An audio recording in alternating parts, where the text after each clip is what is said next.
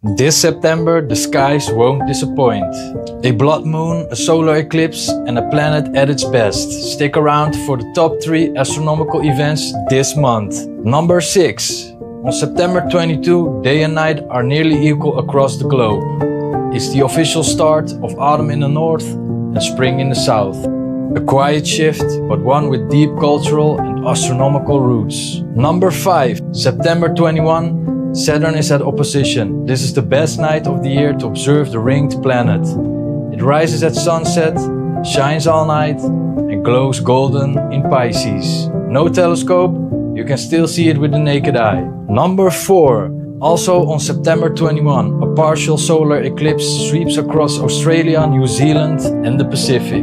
The moon will cover up to 85.5% of the sun. For more specifics on time and date, you can use an app such as Starwalk 2. Remember, never look directly at the sun, use eclipse glasses or proper solar filter. Number 3. On September 19th, a gorgeous triangle of Venus, the Moon and Regulus appears in the morning sky.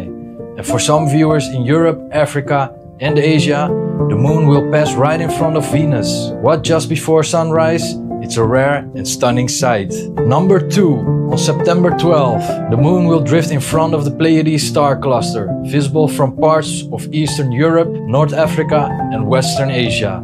Use binoculars to watch stars disappear one by one behind the moon. Number 1. On September 7, this is the main event, a total lunar eclipse aka blood moon, paints the moon red.